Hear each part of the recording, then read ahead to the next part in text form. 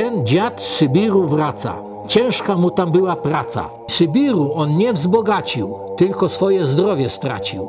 Ojciec został w swoim kraju zaresztowany przez obcą policję NKWD. Jak e, te kobiety wyglądały, podrapane włosy, potargane i sinaki. Strasznie bili. Ja to szybko przytomność stracił.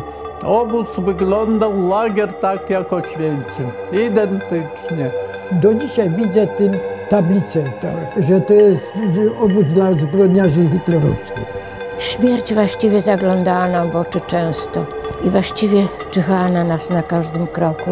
Byłem dwa miesiące trupowozem i wrzuciłem do dołu około 300 ludzi. Jakby w ogóle Pan Bóg pozwolił zmartwychwstanie, to tam by cała ziemia podjęła się. Tyle lat, ja tego nie potrafię zapomnieć, nie?